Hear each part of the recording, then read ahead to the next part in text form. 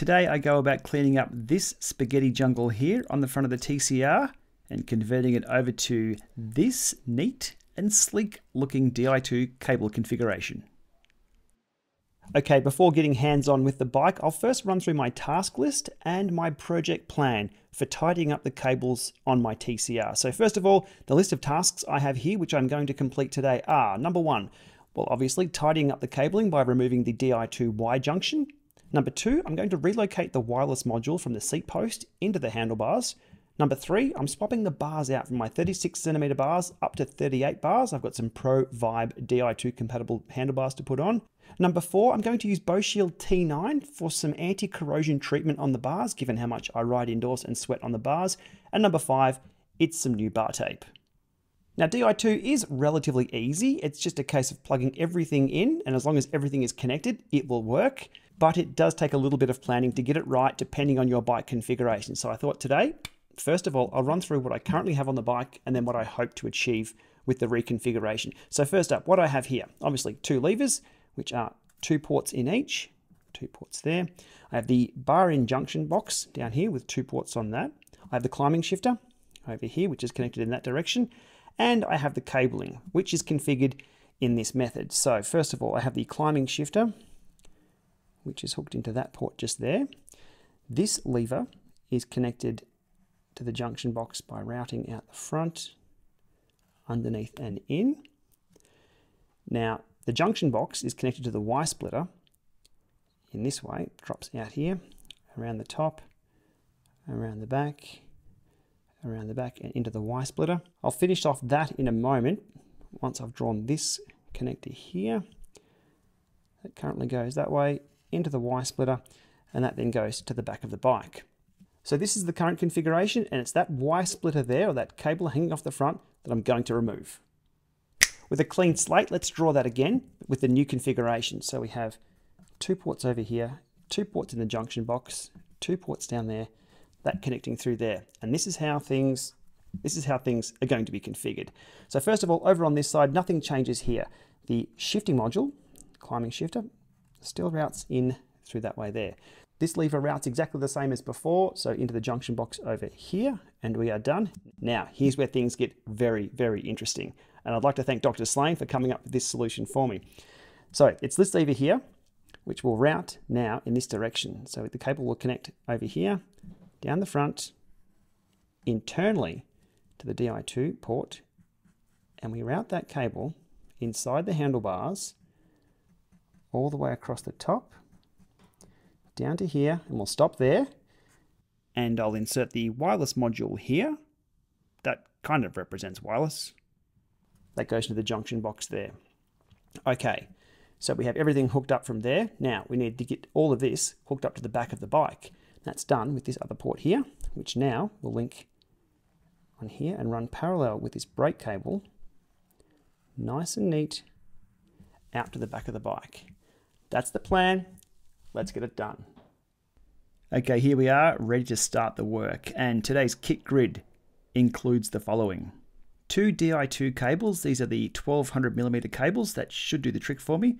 I have the Di2 removal and insertion tool. We have some hex keys, some snips, a knife, a Leatherman, everybody needs a Leatherman, a torque wrench, some scissors, tape and cable ties, my new favorite tool, the Park Tool internal cable routing kit, Boeshield T9 corrosion treatment spray, some BBB Flex Ribbon bar tape, and the Pro Vibe bars that are Di2 compatible and 38 centimeters wide. First things first, removing the seat post where the Di2 battery is located and removing the wireless module from the seat. And then we're on to undoing all this fine work on the front end here, which includes dismantling all the wires, and cabling and tape and you name it. Once the tape comes off, there's quite a lot going on there. Now I won't be touching the brake lines at all today. They stay connected, which makes things a little easier for what I'm about to do.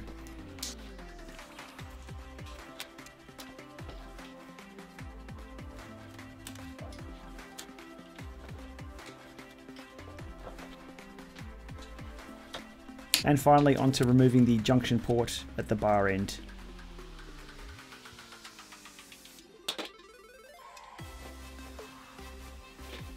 That comes off and that cable is no longer going to be inserted by itself onto that side of the bike. Alrighty, the levers come off with brake cables still in play. I'll switch the bars off and put the new bars back on because that's the base of what we'll be working with for the rest of the day.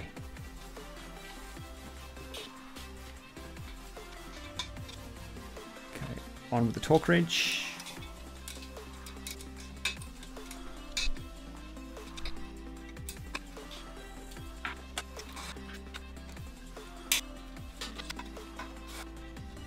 levers back on and hopefully in the same place we try and line those up nice and neat and level.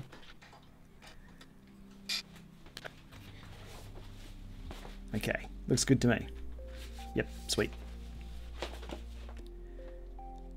first things first we'll plug this lever in route it around the front into the Di2 hole there and it's out with the Park Tool kit this thing is absolutely amazing So the magnetic end goes in and connects to the other magnet on the guide tool. And I'm going to be feeding this guide cable through first. Goes in along the top.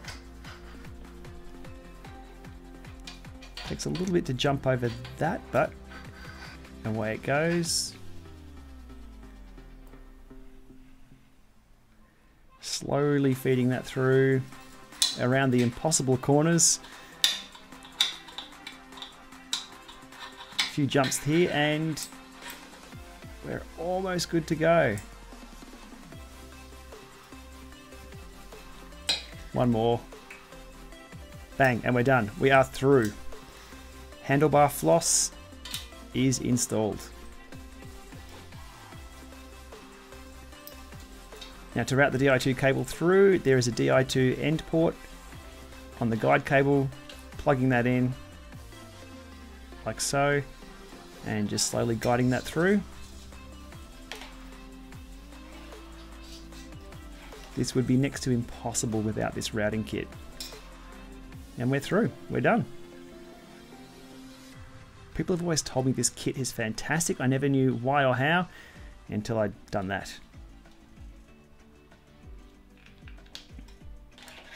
Okay, off with that and on with the wireless module, which I'm relocating. So a little bit of bar tape around the wireless module so it won't rattle around in the bars. Connecting that in line and then just shoving it up the handlebars where it's going to live from now on. Next up, connecting the right-hand lever with the same cable as before. It's going to go into the lever, run around the front and into the Di2 port that's already pre-drilled on these bars and then into the junction port A. There we go. We are done. I'm also taking this opportunity to turn the junction port up the right way. It was installed upside down. Now to get the right width for the climbing shifter, I'm going to put on my Garmin head unit mount first, and then put the climbing shifter on right here with the cable ties. Lining that all up. Now the cable ties aren't too bad. You can get them out of the way, so it doesn't look like you've hacked something on your bike. There's little ports around the back of that, so once you snip the cable ties, it can be nice and neat. So we have that running there. That's the cable that is now going to be removed from the bike. Next up is the unboxing of the other 1200mm cable. This is the one that will go in the frame from the left-hand lever all the way down to the junction box under the bottom bracket. So flipping the bike over to get to the four-port junction box, removing this here. And because I'm running the DUB bottom bracket, I can't access the four port junction box. It will not come out of there. I can try and pull and twist and turn and I uh, worked at this for a little while, but could not get the junction box out. So after giving up on that, it's out with the bottom bracket and out with the junction port in that way. If you're running the standard Shimano crankset, not a problem at all. The DUB bottom bracket's a little wider, which doesn't give you access to what you need through that small hole there at the back. Okay, spaghetti jungle down here. This is all quite simple. Four cables, one from the front of the bike, one to the battery, One to the front derailleur, one to the rear derailleur. Looks worse than it is.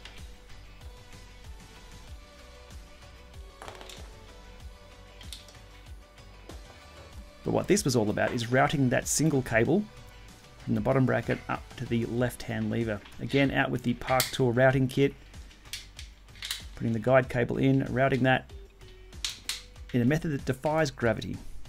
Routing the cable up once I get that over the bottom bracket shell. There we go, that's locked on.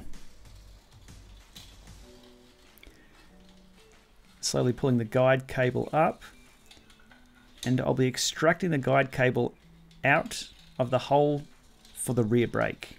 There is just enough room to squeeze that through. It could be very troublesome if there wasn't enough hole space to get both in, but with a little bit of tinkering here, the guide cable comes through and there is enough room for the Di2 end. And there we are. We are in more frame floss. Same as before with the handlebars, we plug the Di2 into the end of the guide cable. This time hanging a few cable ties off here so there's no rattling in the frame. There's a lot of open space in the down tube, so those little cable ties there stop things rattling around. Okay, Di2 end plug in, and that's slowly fed up. Did I mention the Park Tool guide cable was absolutely brilliant? If I haven't, I will now. It's fantastic. Saves a lot of time. Alright, with that all in place, four port junction box tucked in there, hidden away, bottom bracket, shell put in place, and bottom bracket, and the bottom bracket pushed back in. Okay, an overview of where we're at. We have that lever plugged in with the internal cable that we've ran all the way across here, down here, into the wireless module, and then into the junction port. Now what we need to do is plug this one in, which connects the battery and the rear of the bike to everything else. But we need to do it neatly. Finishing off the back of the bike by connecting the battery again, seat post back in, and torqued down correctly.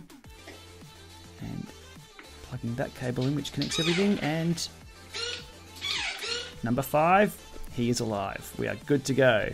Now it's onto the easy part, just taping everything down so it's nice and neat.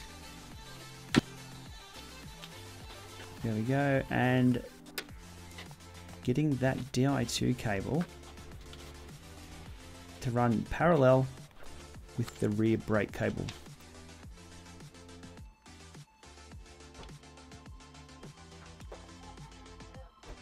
I'm just using the little clip-on adapters here for now to keep the two cables together. I will look at a heat shrink option in the future when I resize those brake cables.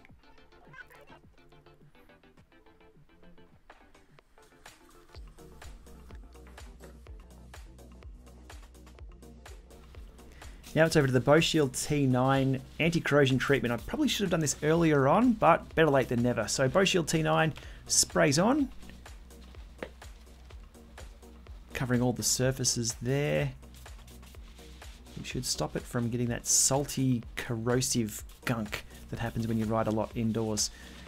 So spray it on both sides, good coating, and leave that to dry for probably half an hour or so. I've always found the best. And finally, it's onto the bar tape, covering up, I was going to say covering up the mess, but it's quite neat. Covering up everything and hiding it all away making things look nice and slick on the front end there of the TCR. Right side done, all looking pretty good.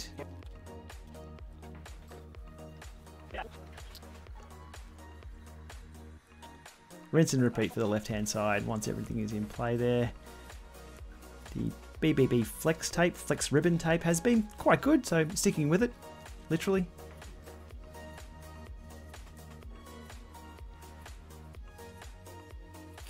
finishing touches and one final pedal to make sure everything is lined up and nice and neat. Feels good. Bars are rock solid, they're on nice and tight.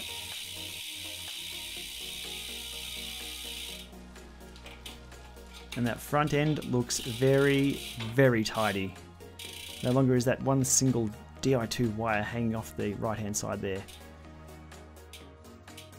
And now in summary, the before shot and the after shot.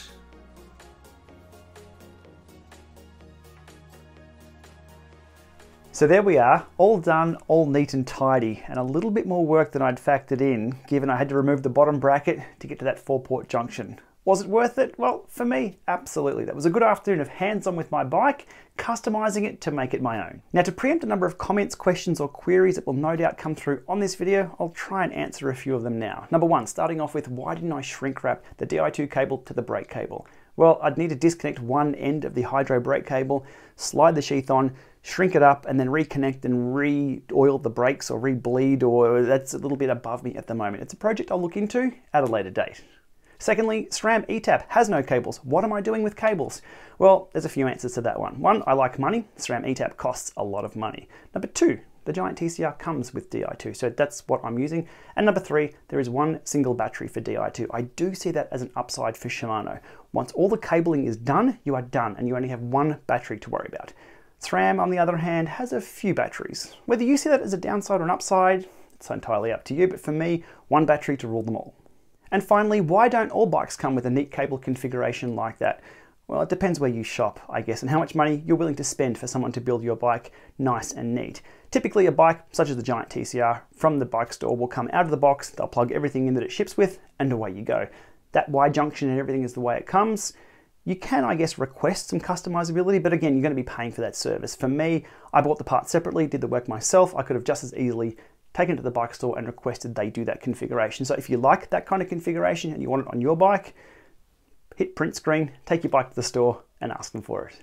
So there it is for today, my Di2 recabling project. It's been a long time coming and it's finally done. It was a lot of work, but definitely worth it. It's my bike now and I'll be riding it for at least the next 12 months or so. So I think it looks pretty cool. As always, remember to hit like on this video, hit subscribe to be notified of new videos, and hit join to become a member of the GPLama channel. It's really appreciated. Thanks for watching.